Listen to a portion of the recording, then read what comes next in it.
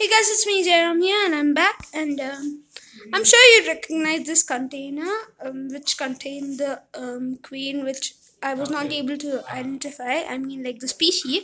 So I'm still not sure what species this is, but I had lost all my hopes on this queen.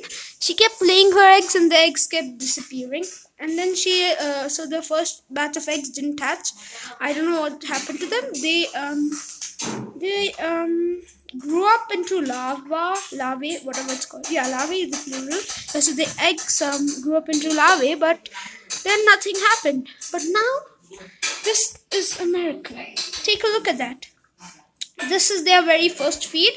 I have put in a few about um two three couple uh, two, two three couples of um tiny sugar you know those cubes and really large ones but the tiny ones. And as you can see these three workers right here who are brave enough to wander i mean like explore and like not scared you you can see that they are um, you can see they're feeding on it. And i'm sure that they will go ahead and feed the eggs and also the queen. So this is our new colony. Isn't that great? Yep so that's that so that's what i'm um, just an update and as you can see like it's quite dusty. I thought that she would die in some days.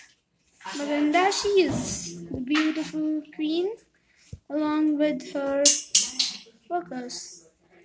Yeah so if you guys have any idea as to like which uh, species this one is make sure to tell me in the comment section below. So I hope you all enjoyed. Bye guys. See you later in the next video.